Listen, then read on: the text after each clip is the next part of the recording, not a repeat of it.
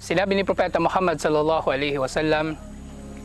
Ad-dunya sijnul mu'min wa jannatul kafir. Ang mundo na ito ay kulungan o piitan para sa nanampalataya at paraiso para sa hindi nanampalataya.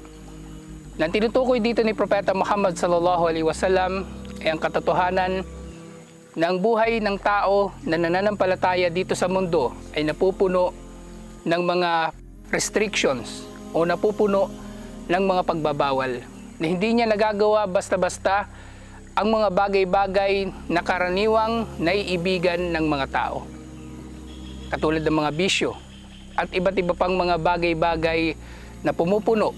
at tumutugon sa pagnanasa ng tao. Siya ay may tuturing na isang preso o nakakulong sa mundong ito dahil hindi siya katulad ng ibang mga tao na malaya sa kanilang pagsuway kay Allah subhanahu wa ta'ala sa pag-aakala lamang nila na sila ay malaya.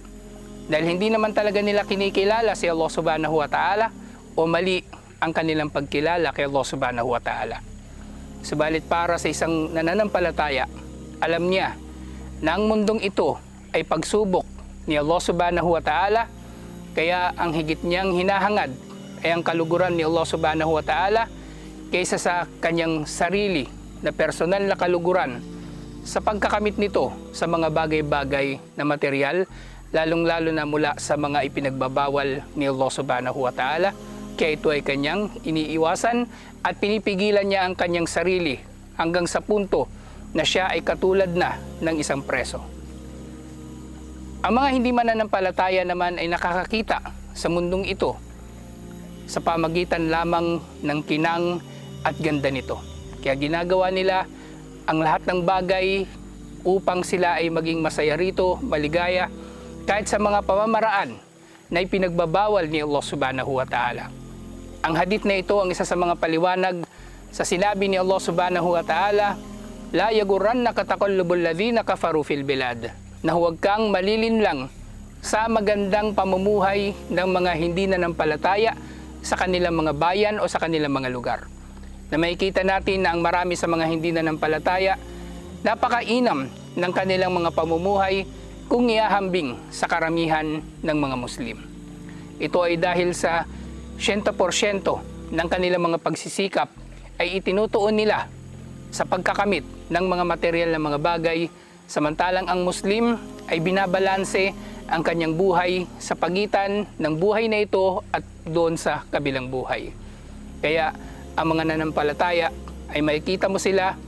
na hindi nila masyadong iniisip kung sila ba yayaman, sisikat o magkakaroon ng kapangyarihan sa mundong ito.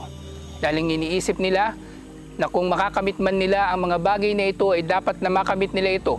sa mga kaparaanan na pinahintulutan ni Allah subhanahu wa ta'ala at ang mga ito ay makakamit nila upang magkaroon ng pakinabang sa kanila sa kabilang buhay. Samantalang ang mga hindi na nampalataya, sila ay namumuhay sa limitadong mundo na ito na para bang sila ay mamubuhay dito abang panahon. O kung alam man nila na sila ay mamamatay, ginagawa nila ang mga bagay-bagay na ginagawa nila rito upang sila ay magkaroon ng legacy o maipamamana sa kanilang mga anak at mga inapo at sila ay maalala ng kasaysayan.